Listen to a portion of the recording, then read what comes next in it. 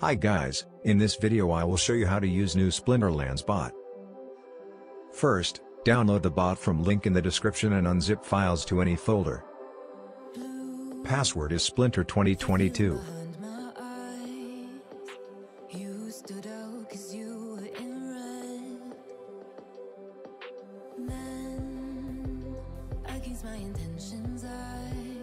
Next, open bot and wait for a load.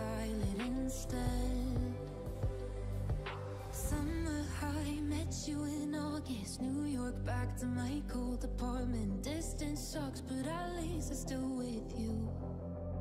Successful. Open game.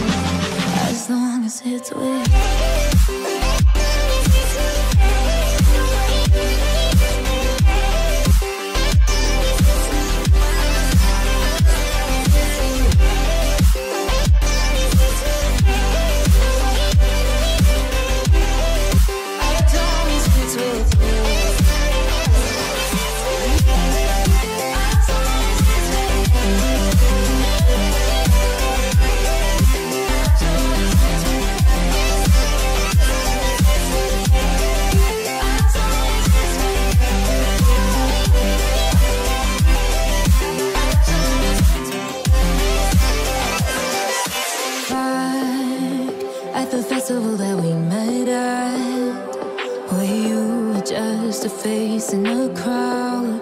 And now I can't imagine Me with anybody else. As we close out the night Underneath the lilac sky. Summer high, met you in August New York, back to my cold apartment. Distance sucks, but at least I'm still with you